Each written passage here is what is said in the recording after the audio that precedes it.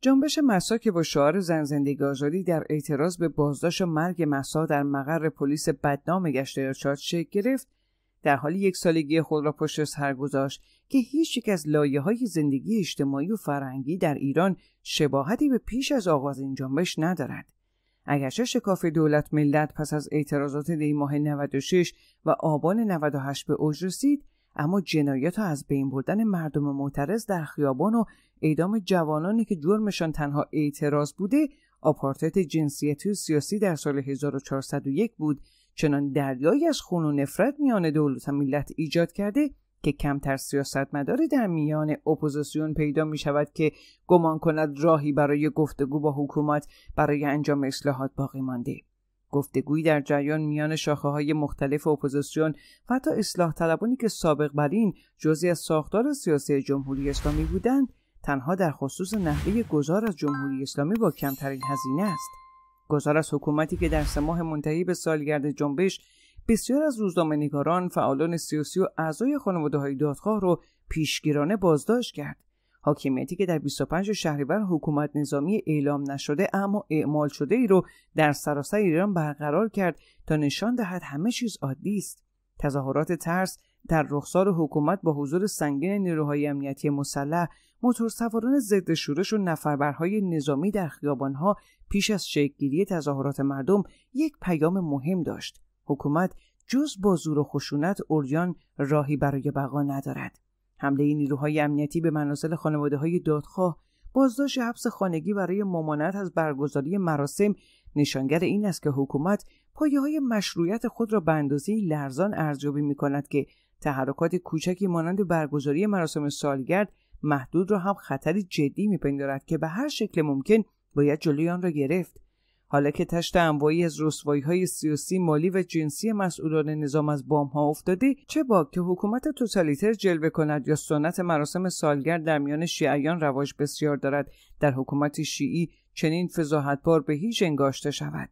برخلاف آنچه در داخل مرزهای ایران در جریان بود در خارج از مرزها ایرانیان مقیم کشورهای مختلف به رغم تفاوت در دیدگاه ها و تعلق خاطر به شاخه های مختلف اپوزیسیون در برابر سفارتخانه های جمهوری اسلامی تظاهرات اعتراضی برپا کردند و ضمن گرامی داشت و یاد و خاطره جانباختگان جنبش مهسا بر راه بی بازگشت سرنگونی جمهوری اسلامی تاکید کردند. مشاهدات از تظاهرات نسبتا پرشمار مخالفان جمهوری اسلامی در دو شهر مختلف در اتریش و دیدار با جمعی از فعالان حقوق بشر متحسن در مقابل مقر اروپایی سازمان ملل که محوطه بیرونیان را مزین به تصاویر پرشماری از زندانیان سیاسی اعدام شدگان جنبش و قبور نمادینی از کودکان قربانی در جریان جنبش محسا کرده بودند نشانگر اراده های انسانی والایی بود که تلاش می‌کنند عادیسازی روابط حکومت های مبتزل و شرکای قلدر سپاهیشان با کشورهای اروپایی و نهادهای بین المللی رو مختل کنند.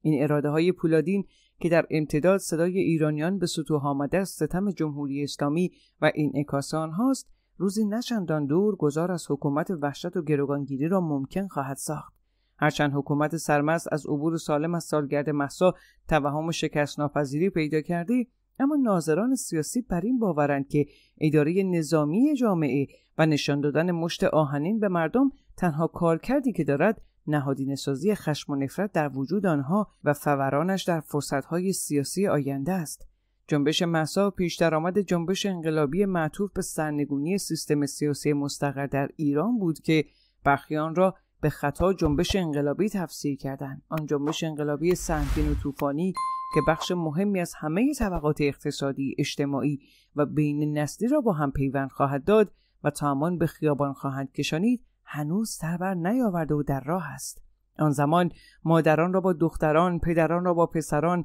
و پدر بزرگها را با نوه ها در کنار هم در خیابان خواهیم دید. شواهد قابل تکایی در ارزی سیاسی اقتصادی و اجتماعی نشان می دهد که جمهوری اسلامی بحثی برای تجربه سومین رهبر خود و جامعه ظرفیتی برای پذیرش آن نخواهد داشت و با مرگ علی خامنه زهاک انسجام فعلی نیروهای سرکوب در برابر جنبش انقلابی از دست خواهد رفت. سخنگوی وزارت خارجه آمریکا در واکنش به گزارش ها درباره پرتابه ماهواره نور سه به وسیله سپاه گفت تداوم توسعه برنامه موشک های بالستیک تهدیدی برای منطقه و امنیت بین المللی است. فرمانده نیروی هوافضای سپاه پاسداران روز گذشته مدعی پرتاب موفقیت‌آمیز ماهواره بر قاصد و قرار گرفتن ماهواره نور سه در مدار 450 کیلومتری زمین شد. متیو میلر در پاسخ به پرسشی در این خصوص گفت که ایالات متحده نگرانی خود را درباره توسعه فناوری ماهواره برها توسط ایران مطرح کرده چرا که چنین فناوری مسیر را برای توسعه برنامه موشکی این کشور فراهم می کند. او تاکید کرد ماهواره برها دارای فناوری هستند که تقریبا شبیه به فناوری مورد استفاده در تولید موشکهای بالستیک است. سخنگوی وزارت خارجه آمریکا تصریح کرد تداوم توسعه توانمندی موشکهای بالستیک ایران تهدید جدی برای منطقه و امنیت بین المللی و یک خطر مهم در راستای نگرانی ها از اشاعه تسلیحات هسته است. متیو میلر تاکید کرد که آمریکا به استفاده از انواع ابزارهای منع اشاعه از جمله تحریم ها برای مقابله با پیشرفت بیشتر در برنامه موشکی ایران ادامه می دهد. نهادهای غربی هنوز موفقیت آمیز بودن پرتاب ماهواره نور سه رو تایید نکردند اما ایران طی چند سال گذشته چندین پرتاب موفق و ناموفق ماهواره داشته سپاه پاسداران اعلام کرد ماهواره نظامی نور دو توسط ماهواره بر سه مرحله‌ای و سوخت ترکیبی قاصد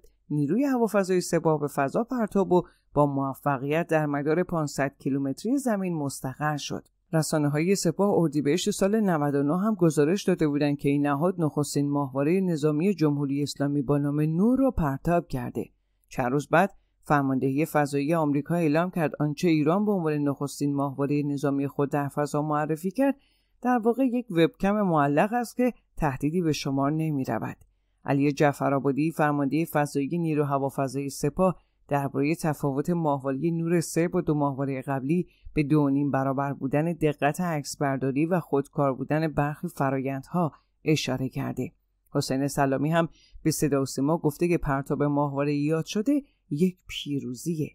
صدا و سیما فیلمی از برخواستن یک موشک از یک پرتابگر متحرک منتشر کرد اما معلوم نیست که این موشک ماهواره بر قاصد از کدوم منطقه پرتاب شده. آسوشیدت پرس هم نوشته جزئیات این ویدیو با یک پایگاه سپاه در نزدیکی شاهرود در استان سمنان مطابقت داره که میزبان فرودگاه فضایی خمینیه مقام های غربی همواره پرتاب ماهواره های نظامی توسط ایران رو ناقض قدنامه 2231 شورای امنیت سازمان ملل می‌دونند.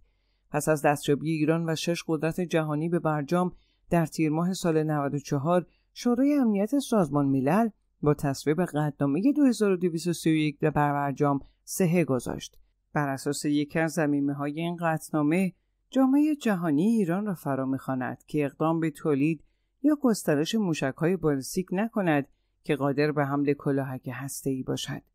مقام های کثیف و حرامزاده جمهوری اسلامی ضمن رد این انتقادات می‌گویند که برنامه موشکی و فضایی آنها ماهیت دفاعی و صلحآمیز دارد.